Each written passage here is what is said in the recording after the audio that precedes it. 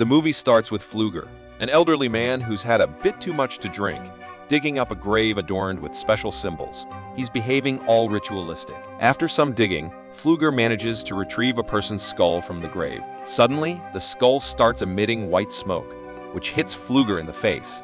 He wakes up feeling groggy but happy, as if he accomplished a big mission. Now, the scene shifts to a teenager named Kelly shopping at a convenience store. Here's what you need to know about Kelly. He has an unusual habit of munching on paper, earning him the nickname Trash Can from his classmates who like to tease him. While he's looking at the stuff on the shelves, he bumps into his old friend and crush, Dominique, but he's too shy to say hello. Outside the store, some school bullies named Nelson, Tony, Reed, and Brad decide to hassle Kelly. They make fun of him for eating strange things like paper and styrofoam. Just when things are getting messy, Dominique steps in and tells them to stop. Of course, this only gets the bullies even more worked up and they push Kelly's face into a trash can. Luckily, the store owner intervenes, breaks up the commotion, and chases the bullies away. After all this drama, Dominique offers Kelly a ride to school. But her friend, Sarah, who owns the car, won't let him in. She says she doesn't want her car to get all dirty. What a letdown, right? In the next scene, Kelly arrives at school only to discover that the bullies recorded the store incident and posted it online. As he walks down the hallway, all the other students start making fun of him. When school ends, Kelly goes back home, and his mom, Bernice, asks him about his day. He doesn't mention the bullying and simply says Dominique talked to him for the first time. Hearing this, Bernice gets excited and suggests he ask Dominique out. Moms, always looking out for us, right? Meanwhile, there's an indigenous man named Red Elk who comes across the grave that Pfluger messed with earlier. He starts saying some prayers. It turns out that there was a hidden power in that grave, and now it's gone. Red Elk is pretty upset about it because it was his job to protect it. The next morning, Kelly gets sick from eating all that paper and styrofoam. Bernice calls the family doctor, who recommends that Kelly see a therapist for his unusual eating habits. The doctor also hints that Kelly might be acting strangely because there are no male figures in the house. But the truth is, the doctor has a crush on Bernice, and he's just trying to get closer to her. On the same day, Pfluger is in town, bragging about his healing abilities. He shows off by relieving an old lady's joint pain. And guess what? Bernice happens to be there, and she's really impressed by his skills. She thinks he might be able to help Kelly, so she invites him to their house. While Bernice goes to get her car, Red Elk approaches Pfluger and informs him that those powers weren't meant for him. He extends an offer to assist Pfluger in getting rid of his healing abilities, but Pfluger declines, resulting in a scuffle where Red Elk accidentally injures himself. These powers, obtained from the grave, have a protective nature around their possessor. Despite Red Elk's warning regarding the potential consequences of these powers, Pfluger brushes off his concerns and departs. Sometime later, Pfluger arrives at Bernice's house with the intention of healing Kelly. However, during his attempt, he experiences an unusual pain and hastily retracts his hand. He excuses himself retreats to the bathroom, and consumes a special drug before making another effort. Regrettably, in his second endeavor, he accidentally burns Kelly's chest with his cigarette and collapses, succumbing on the spot. Interestingly, as Pfluger passes away, Kelly's condition improves dramatically, and he rises with newfound energy. The police arrive and remove Pfluger's body, attributing his demise to a cardiac arrest. Kelly observes that the burn on his chest has inexplicably healed. It becomes evident that Pfluger's healing powers have been transferred to Kelly. The subsequent day, Kelly inadvertently cuts his finger while repairing his bicycle. Yet something extraordinary occurs the wound autonomously heals and vanishes instantly. When he attempts to recount this to his mother, she remains skeptical. On his way to school, he encounters Dominique and Sarah, both astounded by his newfound health. Later, Reed, Nelson's brother, approaches Kelly and unjustly assaults him. Astonishingly, as Reed strikes Kelly, he experiences the pain himself while Kelly remains unharmed. Reed even tries to harm Kelly with a wooden block, but it rebounds, causing Reed to injure himself. Realizing he cannot best this transformed version of Kelly, Reed flees with bruises on his face. That evening, Gus, Reed's father, and the school's football coach visits Kelly's home to ascertain what transpired with his son. Kelly elucidates that Reed attempted to harm him, but suffered injuries instead. Gus remains incredulous and engages in an argument with Bernice. Nevertheless, Bernice encourages Gus to depart and firmly shuts the door in his face. Later, Kelly confides in his mother regarding his newfound ability to transfer pain, ensuring their protection from harm. He validates this by enduring the heat of a cigarette lighter without sustaining any injury to his palm. In the following school day, Kelly's imagination runs wild when he discovers Dominique's hairband. He envisions intimate scenarios involving both Dominique and Sarah. Remarkably, the sensations stemming from his fantasies begin to affect Dominique and Sarah in real life, leading to unforeseen reactions. Sarah even exclaims in delight within the classroom. Subsequently, at a nighttime gathering, Nelson behaves improperly by lifting Dominique without her consent. This infuriates Kelly, prompting him to confront Nelson and insist that he set Dominique down. Just as the boys are getting ready for a face-off, Gus steps in like a hero and separates them. Then, he turns to Kelly and warns him that someday he'll uncover Kelly's superpower and put an end to it. After the party winds down, while everyone's on their way home, Brad and his crew come across Kelly, who's riding his bike. Still upset from their earlier altercation, they decide to give him a little nudge with their car. But as luck would have it, Brad loses control and ends up running over Kelly with the car. It looks pretty grim, but when the dust settles, it turns out Brad's head got squashed, and he meets his maker, while Kelly miraculously remains unscathed. A crowd gathers, and Kelly confides in Dominique about his special ability on the down low.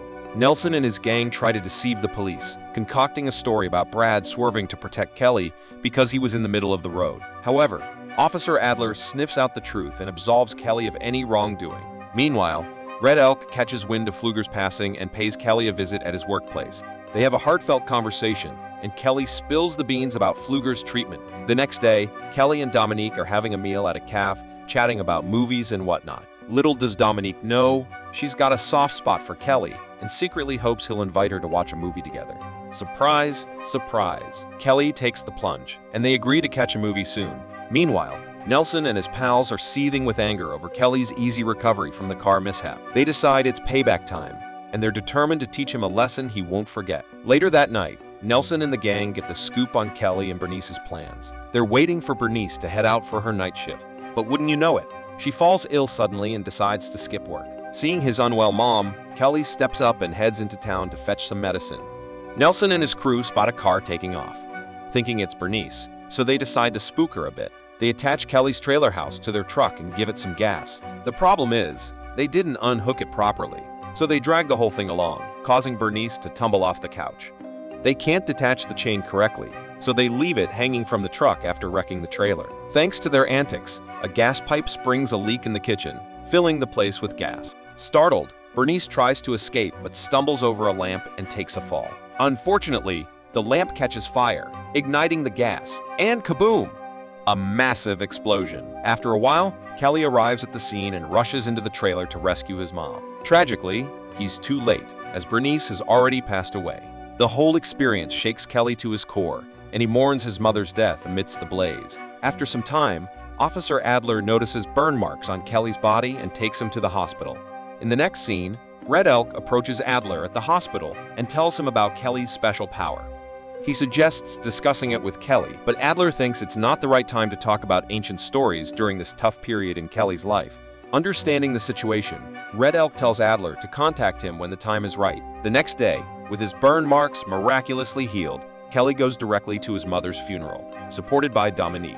She reassures him that crying doesn't make him weak and that his mother will always be proud of him. Kelly then shares his plan to leave town, which disappoints Dominique. After a heartfelt kiss, she departs. Afterward, Kelly visits Pfluger's grave in the same cemetery and starts munching on a wild weed growing there, hoping it will take away his powers. But as soon as he chews it, he feels queasy and starts puking. Sarah, who happens to be nearby, watches from a distance. Later, Officer Adler drives Kelly to social services and discusses his mother's accident with him.